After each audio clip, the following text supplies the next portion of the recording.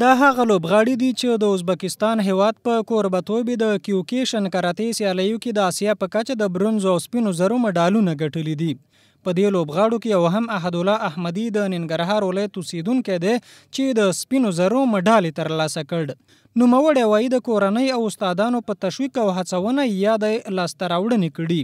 او پر نورو ورزشکارانو یې غږ وکړ چې خپلې هڅې ګړندۍ کړي. زه ډیر زیات خوشحال یم او د خپل ګران استاد څخه ډیر زیات مننه کوم چې ډیر زیات زیار راسره وکړ ګل ډیر مرسته راسره وکړه چې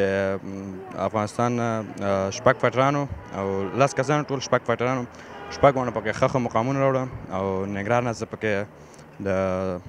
سپینو زرو مډال مو اغستو ولی امید افغانستان ما جوان هستیم ما باید از کار بکنیم احساس خستگی نبکنیم و از انرژی خود کار بگیریم تا بتانیم افغانستان یک افغانستان درخشان بسازیم و در سطح دنیا یک کشور با امن و یک کشور با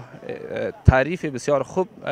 ایره تبدیل بکنیم د یادو سیالیو کوچ او د ننګرهار د کراتې فدراسیون مرستیال خان محمد کاکړ وایي، لوبغاړي په ډېرې خوارۍ او زحمتونو تر دې ځایه رسېدلي دي. نوموړي له اړوندو ادارو غوښتنه وکړه چې دوی سره دې د ورزش په برخه کې همکاري وکړي. موږ په ډېرو کمو امکاناتو باندې ددې ځای نه حرکت وکړو، حتی موږ په موټر کې لاړو، په طیاره کې هم لاړو نه، ځکه موږ په کورنۍ ته به اطمینان چې کله ورکوو، موږ ویل موږ په طیاره کې ځو، ځکه حالات خراب دي. زه مننه کوم د هغو کورنیو نه، خصوصاً مننه کوم د احد جان د پلار نه مننه کوم چې تلې احد جان ته تشویق کړی ده. او د ده د کورنۍ نه مننه کوم چې واقعاً یې نن په ټول افغانستان کې وځلوله او دی د افغانستان په تاریخ کې ثبت شو چې یو قهرمان په نوم باندې. د یادو لوبغاړو د ښه راغلاست مراسمو ته د یو شمېر ورزشکارانو ترڅنګ د ننګرهار ولایتي شورا غړی اجمل عمر هم ورغلی و. نوموړي وویل، همدا ورزشکاران دي چې د هېواد نوم یې په هر ډګر کې ژوندی ساتلی دی.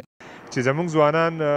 په خپل مصارف باندې ازبکستان هیواد ته لاړل او هلته د نورو هیوادونو سره مسابقې وکړي ترڅو خپل هیواد ته افتخارات او میډالونه راوړي نن الحمدلله